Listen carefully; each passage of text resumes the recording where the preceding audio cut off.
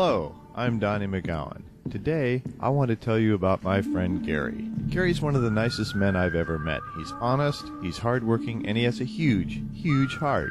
Now, Gary's been a smoker since he was about 12. He's 52 now, so that's 40 years of smoking. I've known Gary for eight years, and the entire time he's tried to quit smoking. He's tried everything the patch, pills, herbs, white knuckling, you name it, he's tried it. You name it, it's failed. This time, when he decided to quit, I thought I'd help him out with something different. We're making a video of him every day so he can see his progress, how hard it is, and give him some inspiration to keep stopping. I hope you enjoy these. Aloha.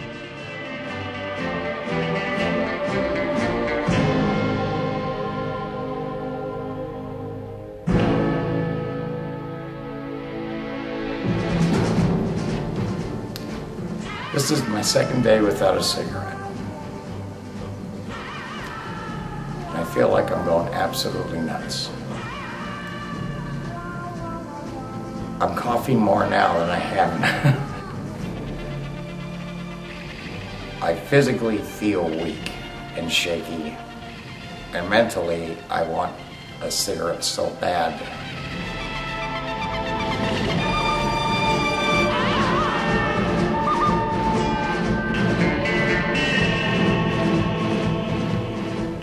The other day, I, I should say, a week ago, I had going through the paper and uh, these articles are jumping out at me all at once. It's like, John so-and-so, 52, we're having a celebration of life, died suddenly of a stroke.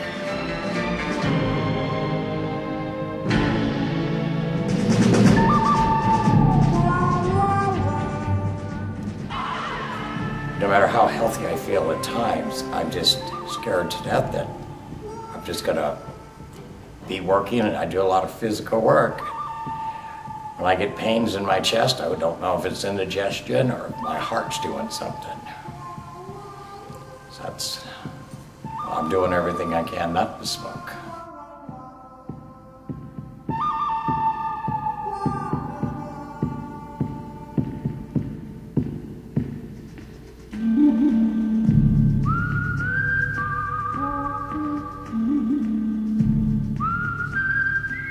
For the second day, this has been much worse than yesterday, and uh, I just don't know how long I can take this. I don't know if I'm gonna make this or not.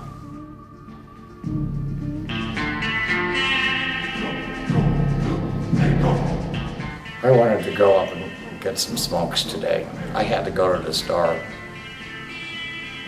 And I actually, I got inside the van and I was gonna go, and then it's just like,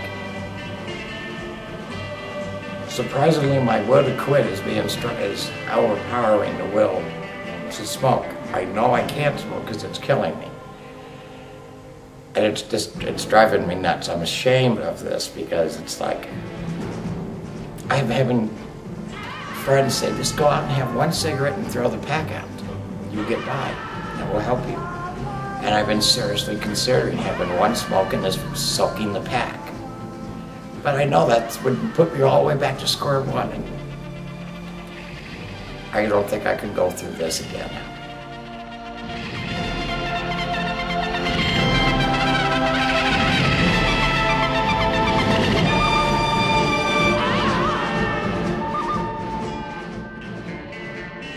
You know, I used to be a long distance runner. And I actually, I still remember the runner's high. And I want to run again.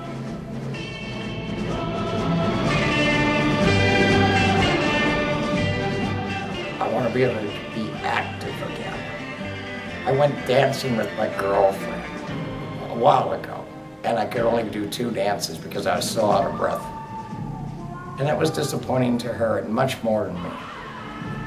And I, I want to I want to be able to do things again and enjoy.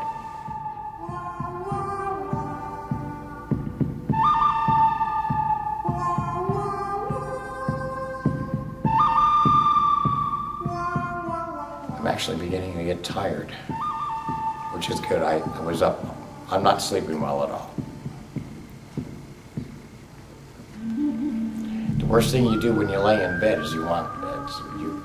There's nothing to do, and after I say my prayers, when I get in bed and all ready to go, it's like I have little dancing cigarettes in my head.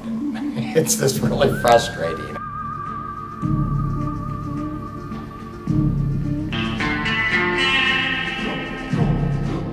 I am praying that I get through day two. It's only five o'clock. And the temptation to smoke is still strong right now.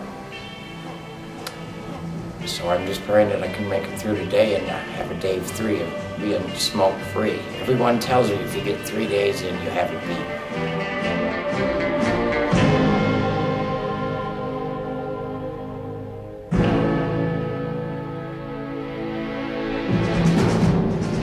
Well, this is day three.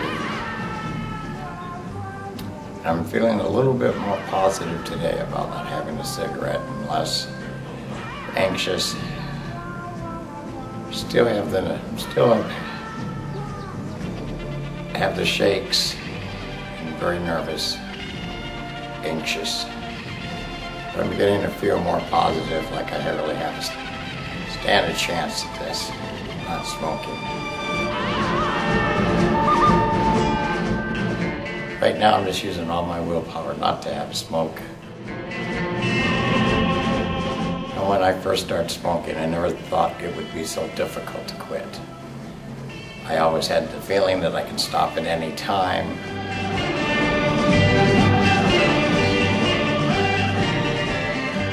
As a reward for not smoking for the day, and I tonight I plan to go out to dinner if I could get through without smoking the entire day.